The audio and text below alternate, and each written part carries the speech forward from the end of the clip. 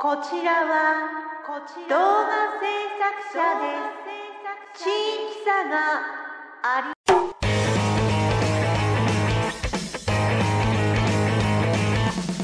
お隣同士永遠のライバルが繰り広げる日本一低レベルな戦い群馬と栃木のお隣劇場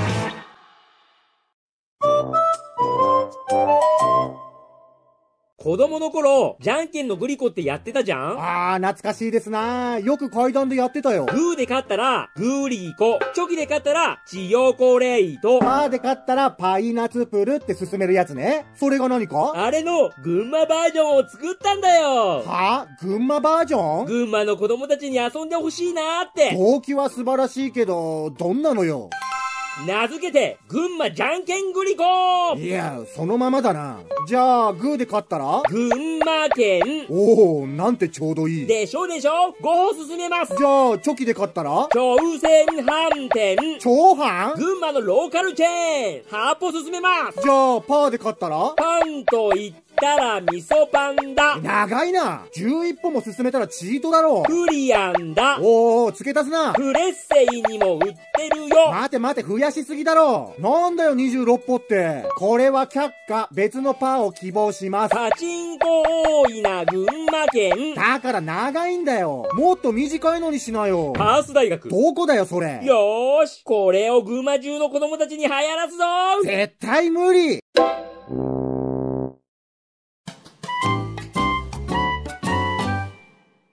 おー、今回は佐野日大か。何が佐野日大？高校サッカーですよ。ああ、もうそんな時期ですか。近年、栃木では主にこの2校が全国大会に出場してるのさ。矢板中央と佐野日大ね。聞いたことある。これが近年の栃木大会優勝校。おー、マジで2校だけ。んで、今年度は佐野日大が優勝。にしても矢板中央は多いな。ちなみに矢板は今回、準決勝敗退だったんだよ。6連覇ならずか。今回の栃木大会も熱かったですぞ。そういえば、栃木は全国大会で優勝したことあるん？もちろん。え、いついつ？1950年の宇都宮高校すっげえ昔そう、もう70年以上も優勝はないのよ。でも、いいところまでは行ってるのか。今年こそはぜひとも。な、群馬は前橋育英が2017年度に優勝してるけどね。でも、過去の優勝回数は同じだけどね。あーうーとにかく、みんな怪我なく頑張ってもらいたいですな。勝ち進んでいけば、群馬の育英とはいつ当たる感じ？うーん、ブロックが違うから、決勝だな。よーし、し佐野日大よ決勝で会おうぜお、お、君が出るわけじゃないけど、お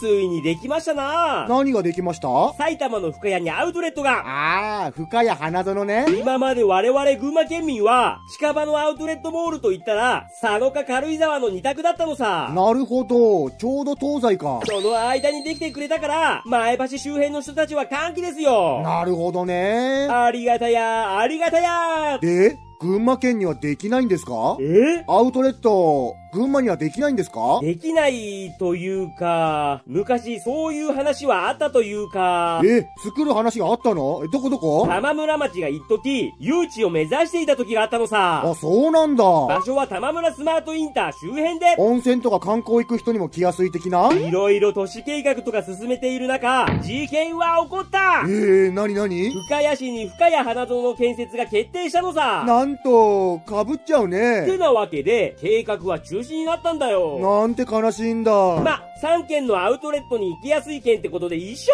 それなんだけど、こっちの人たちはえ？行きやすくはないよね。おー、周辺の県に作ってもらおうわあ、人任せ？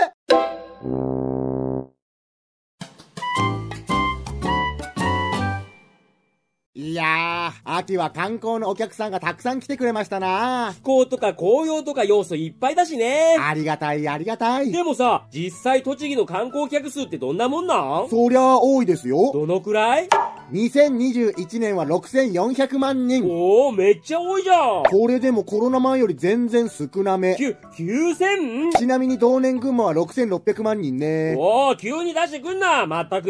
で、市町村別だとこんな感じさ。ええー、宇都宮が一番多いのか。日光と思われがちだけどね。しかもナスもあるもんな。まさに観光大国ってわけだ。じゃあ、他の都道府県と比べるとどうなん？コロナ前の2019年で比べると、なんと北海道よりも多いですぞ。マジかよ北の観光地に勝つとは。さらには京都よりも多いのです。うひゃーそんなバカな一応群馬入れときます入ね。れるな入れるな北海道より多いの嬉しいけどどう？すごいでしょこれだけすごかったら、日本トップ目指せるんじゃない？いや、上にはとんでもないのがいるんすよ。とんでもない？どこかあったっけ？千葉県1億8000万。うわ神奈川県2億400万う。わうわ東京都5億5800万。うわ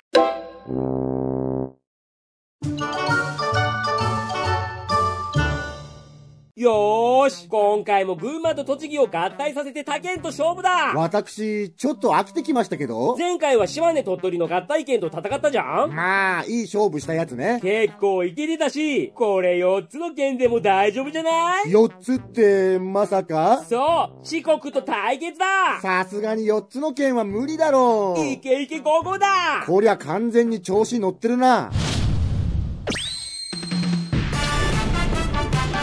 ということで、群馬と栃木が合体したら四国に勝てるのか、いろいろ比べてみました。まず、人口を比較。よっしゃー硬いえ、勝てるものなの？これ、他もいけちゃうやつじゃない？ちょっとこれ、いけちゃうやつ？続いて、面積を比較。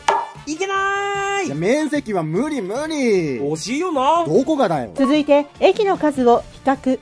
惨敗。4件の合計は無理だろいや、あなたが始めたんでしょうに。くっそー続いて、内閣総理大臣、出身者の数。ギリギリ硬いいや、なかなかのボーナスお題でしょ勝てればいいんですよ時間の関係で以上です。まあ、さすがに4件はちょっと無理があったな。ほうほうほう、九州は7件かもうやめとけ